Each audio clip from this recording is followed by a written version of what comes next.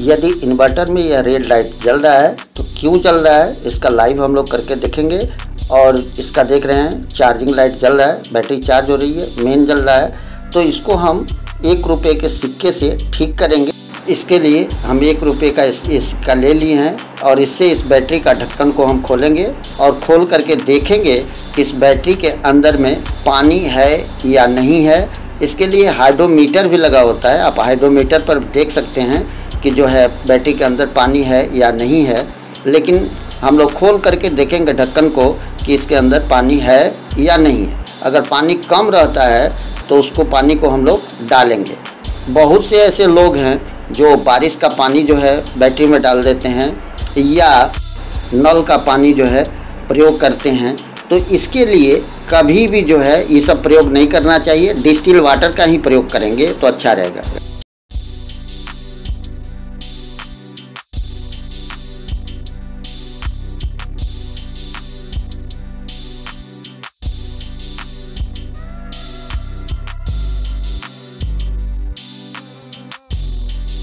अब हम बैटरी के सभी ढक्कन को खोल लिए हैं और डिस्टिल वाटर ले करके बैटरी के सभी सेल में जो है डिस्टिल वाटर को डालेंगे।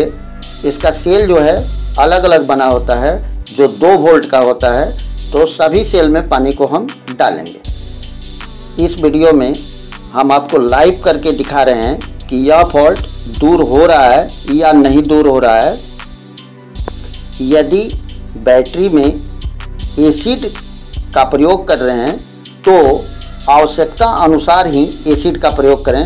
पहले यह जान लें कि इस बैटरी में एसिड ज़रूरी है या नहीं ज़रूरी है तो एसिड का प्रयोग करेंगे। अन्यथा डिस्टिल वाटर का ही हम लोग प्रयोग करेंगे।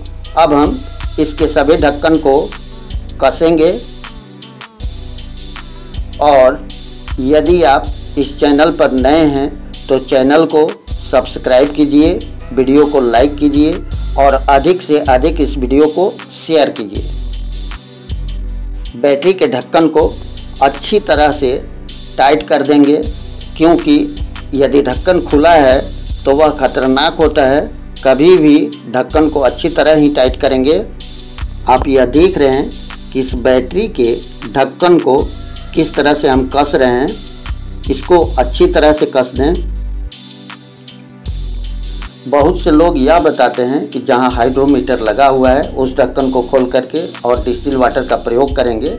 लेकिन यदि आप नहीं खोल सकते हैं, चूँकि हाइड्रोमीटर शीशे का बना है तो यह फूट सकता है तो आप इस ढक्कन को खोल करके पानी डाल सकते हैं।